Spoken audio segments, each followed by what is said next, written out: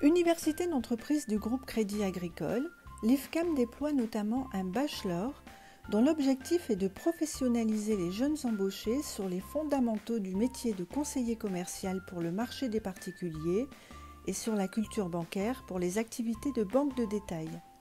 Pour intensifier la digitalisation de la formation, l'IFCAM a choisi d'intégrer de l'adaptive learning à l'un des MOOC de ce parcours diplômant qui se veut 100% humain et 100% digital.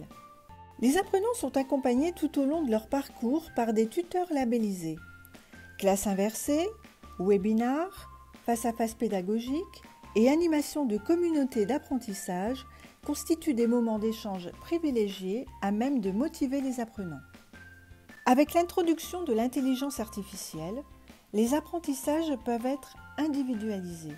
La collecte et le traitement des données permettent de créer des groupes homogènes prédictifs auxquels chaque nouvel apprenant peut être associé. La mise à jour et l'enrichissement se font automatiquement en fonction des données collectées.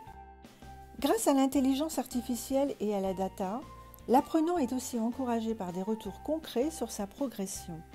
Au final, le taux de réussite à l'examen du MOOC est en augmentation. Un gain de temps de 37% a été relevé par rapport à un dispositif sans adaptive learning.